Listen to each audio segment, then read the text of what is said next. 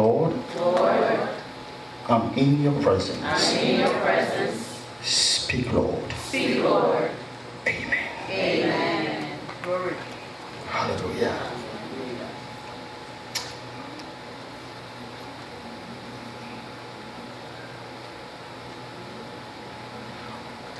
One thing that is scary in life, Sister Pepe, is to live under the same roof with somebody that you don't know who the person is. Yes. Yes. True. Very true. And also, one of the scariest thing in life is to come to a place of not knowing what to do to you. Become confused, Yes. not knowing what to do. To do.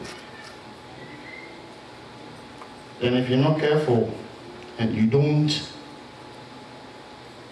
ask God for divine wisdom, you do things anyhow. Amen. Give me all ears. When you see somebody sleeping, tap the person nicely. Here's the, here's the house of God. Don't hit anybody. Touch them beautifully. Say, I think, I think, I think you are dozing off. And wake them up. Amen. Amen. I believe I'm going to bring forth a word that will help somebody. Amen. Amen. I want us to open to the book of Deuteronomy 10. The book of Deuteronomy, chapter 10, verses 12 through 13. Hey, I was thinking I would see somebody here. There's nobody here. They're out there. Hallelujah. Amen. See, I was telling mommy today when we we're coming, see, sometimes you have to do things different. Amen. Uh, today we came here very early. My big pump boys saw us and they were like, hey, Bishop Okuya. Bishop is out early. Yeah, see, you don't give people the chance to read you. You sometimes have to to to to to make things different. So you can you can confuse them amen uh, i want us to read the book of deuteronomy 10 12 through 15 and now israel and now is and now say and now Israel. Israel. Don't say that again. What does the Lord your God require of you? But reverently to fear the Lord your God. That is to walk in all his ways and to love him and to serve the Lord your God with all your mind and heart and with all entire being to keep commandments of the Lord and his statutes which I command you today for your good. I want us to open to the book of Deuteronomy. Uh, let me get it right verse for you. And we will read that and we will bring forth the word. Deuteronomy 28 1. Deuteronomy 28 1.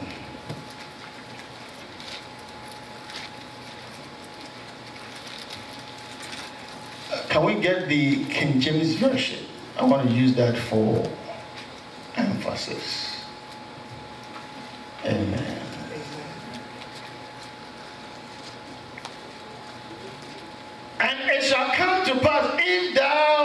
shall hearken unto the voice of the Lord thy God. Observe and to do all his commandments which I command thee this day. Somebody say this day. This day. That the Lord thy God will set thee on high above all nations of the earth. Hallelujah. Amen. I believe to prosecute this reading, I want to let you understand that our first reading was telling about how it is imperative, or how imperative it is for us to what, lead our lives in the fear and reverence of God. And then the second verse gives us what it takes that when you become obedient, what will happen to you. Amen.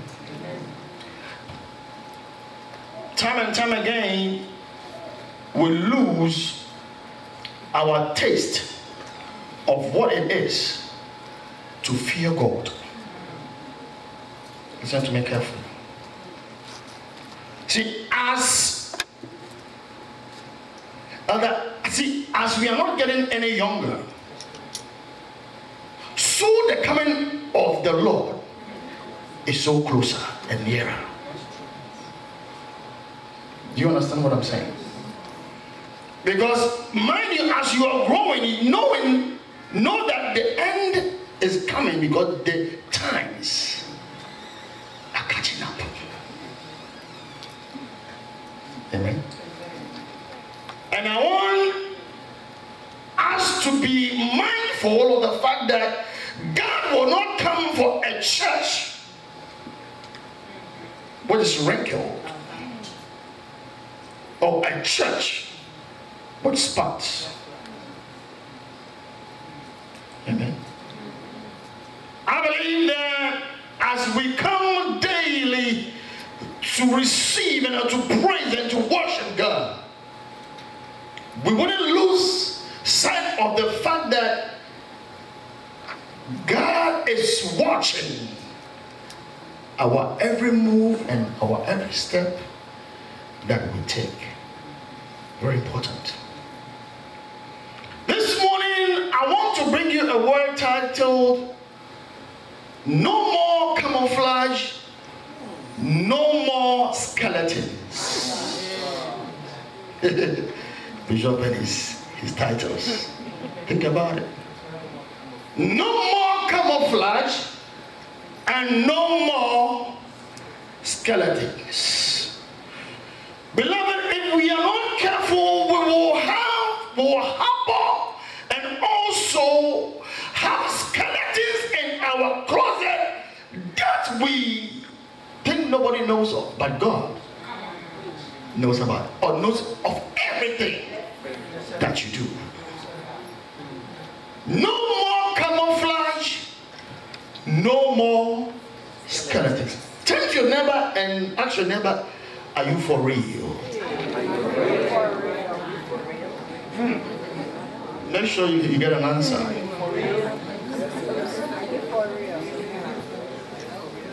Now, Bible says when the days are getting closer, people will be lovers of themselves. That you come to church because somebody told you to come, or you come to church knowing that it is a responsibility and it is part of your makeup to belong, to be inclusive in the things of God. And sometimes we become out of touch with the things of God so much so that it becomes the norm for us. That you come to church and somebody has to warn you before you even lift up your hand. And then somebody has to talk, say from the moment, lift up your hands before hands can be lifted up.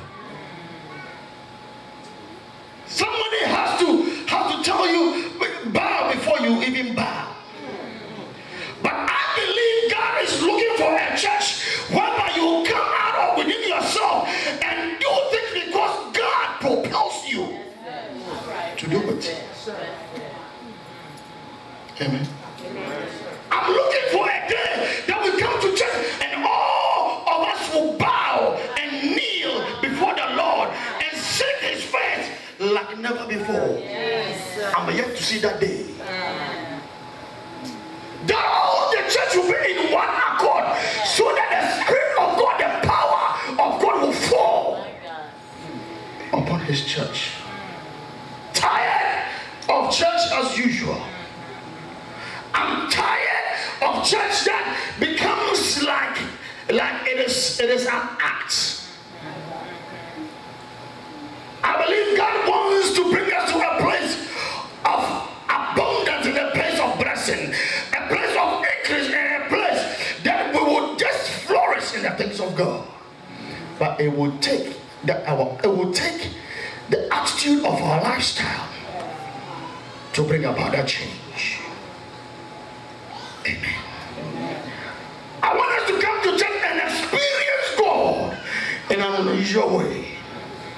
Not dance and not shout and not go home broke. You can come to church and go home dry because you didn't receive anything from God. Because you came to be a spectator and not. Jesus. Mercy, Lord. Yes. I believe you have to be part of anything that goes on in the house of God. Beloved, listen. If you want to belong, belong. Yes. Yes. Bible says, if you have to be hot, be hot.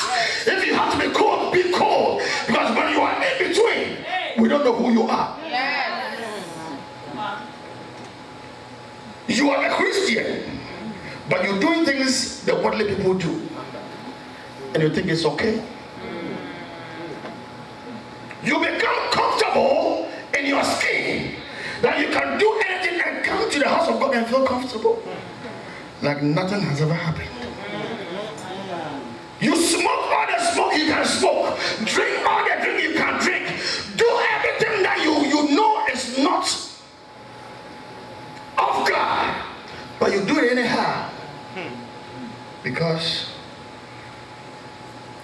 think you're not accountable to anybody. Skeletons in the closet. You come every Sunday, makeup good, haircut good, hairline good, but you are, uh, we don't know who you are. A camouflage amongst the people of God. Hallelujah. Say the time has come to be real. Say the time has come to be real in the things of God. In the things of God. Beloved, see, if we want to experience God and see His hand and see His blessings, then our lifestyle have to change. Hallelujah. I said, if we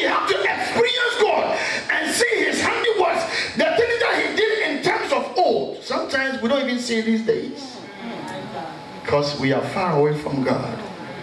We are far away from God. Amen. But I believe the time has come for, for the children of God to stand. Bible says stand and to stand and make sure that they take what belongs to them. Today I'm vexed to pray that any scattered things in our lives, any camouflage in our lives, may Jehovah, we're going to speak to that skeletons. We're going to speak to that dry bones to receive life of in Jesus' mighty name. Things have to change. things have to change. Things have to change.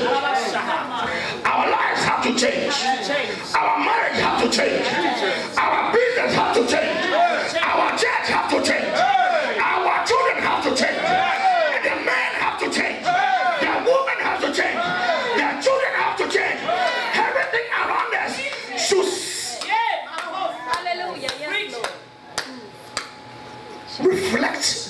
we serve. Amen. Ah. Ah. Ah. Amen. I am very tired of us begging every day for things.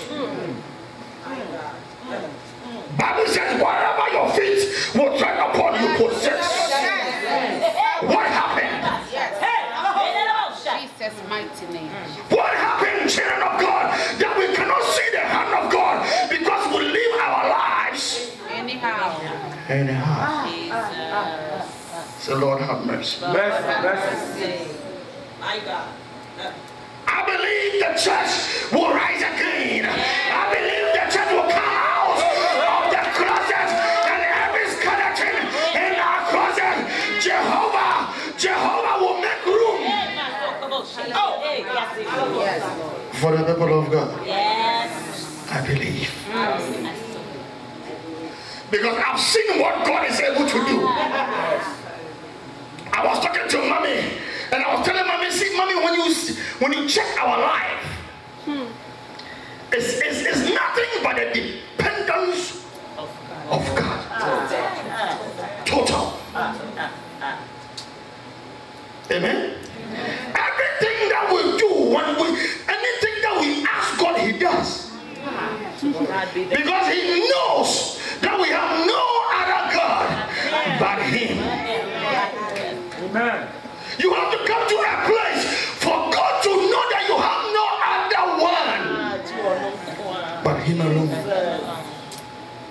There is no other God beside you. What is it? Ancient of days, we worship you. Titi Nyamie. Yɛbɛsom titi nyamie yɛbɛsom wo sɛ yɛgya w'akyira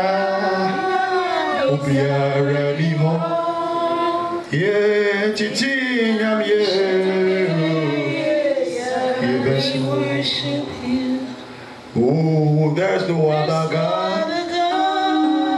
Beside you, Lord.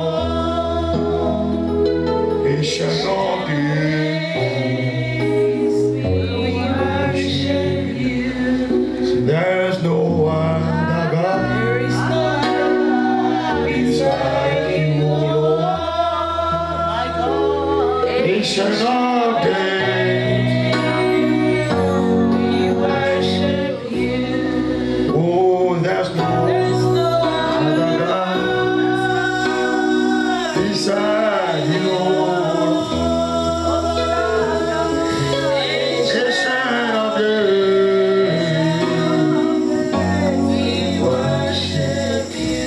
Sit for us, please, through the service? David came to a place in life of knowing that there is no other God beside the God that he served. So anything that he does, he depends on God. See, people don't just become the friends of God just for friendship's sake. Amen.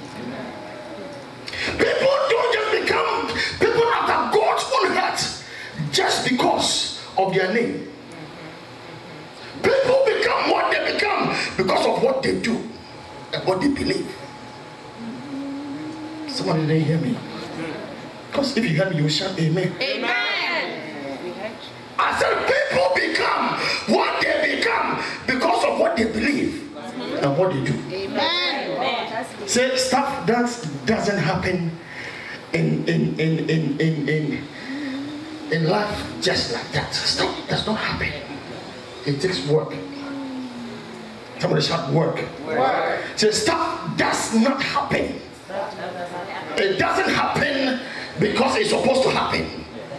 But it takes one that will really go down on their knees and they come up victorious.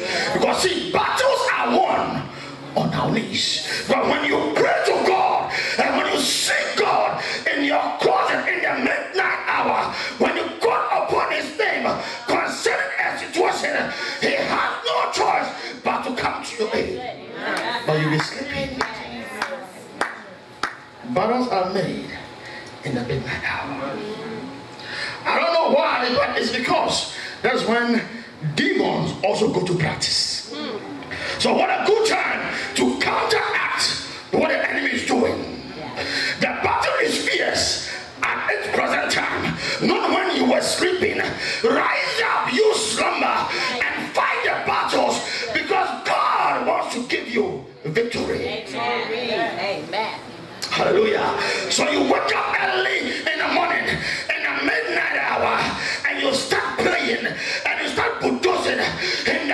of Jesus.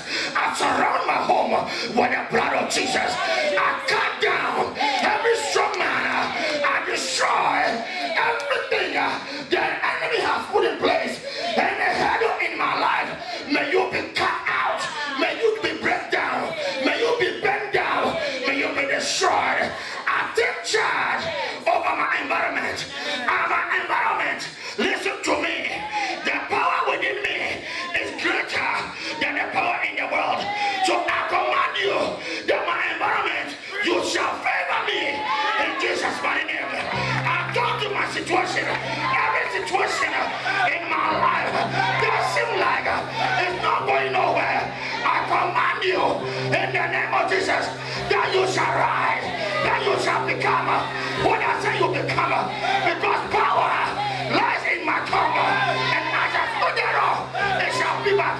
Somebody shall yeah. Things have to change. Mommy, things have to change. We have to see the glory of God one more time.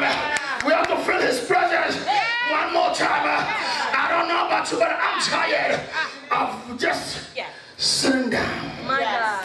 Thank you, Jesus. not knowing what to do. My God. That's when confusion Yeah. enters your heart. And you tell yourself, man, I'm not going to church today. Man, we have enough church.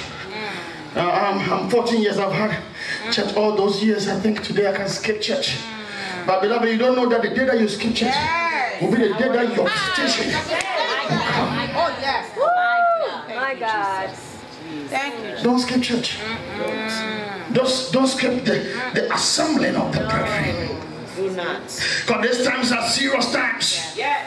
Because when you're home by yourself, this is the, the enemy will, will, will, will always come to a, a, a- a mind that is I, I, ideal. I don't know. Amen. But I believe when we are together in the spirit, when we are together in body, something shall be said, something will be said that will what that will change you up, that will bring you a place of believing again.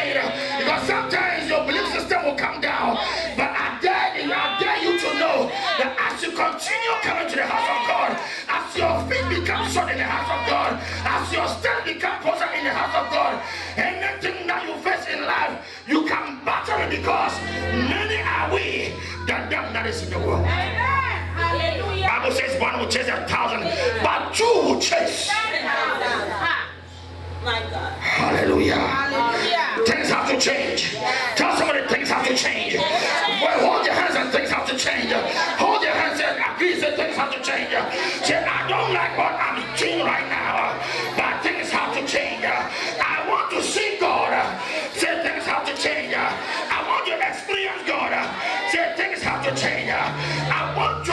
In abundance. Things have to change. I want my account to change. I want my life to change. I want my money to change. I want my children to change. Say change is coming. My God. Change is coming. Yes. Change is coming.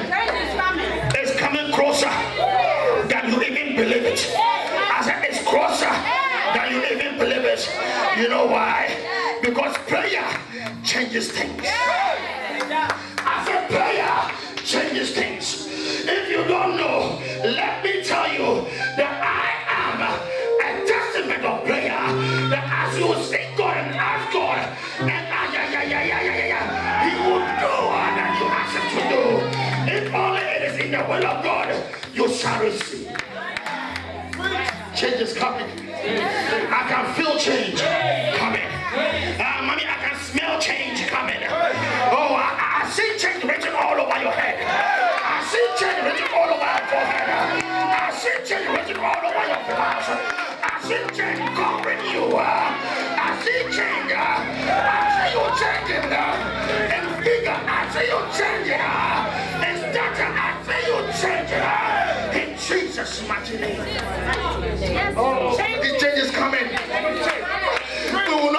is forever. I said change is coming, you will not continue to be like this. I said change is coming, for I know that we know that our Redeemer living shall change. Bless the Lord. Ah, ah but me, I'm so, I'm so, I'm so, I'm so pumped up because I know, I know that change is here what listen? Jesus. Change can come, Audrey, but you have to go get change. Come on, Bishop. I said change will be close to you, but you have to reach out. Mommy, when the woman that had the issue of blood, ah. when he saw Jesus, change was there. Ah. But he said, I you to just to, just to looking at him. I was stretched hem of his garment. That's when change comes. I said, change is here. But I said, reach out and take your change. Take your change. Take your change. Take your change. I said, change is here. Whether you like it or not. But receive it in Jesus' name. Oh, change. Change, change is coming. And change is in the house of God. When you life, we shall see change. In Jesus' name. We shall see change. In our, in our, in our, in our, in our service, we'll see change.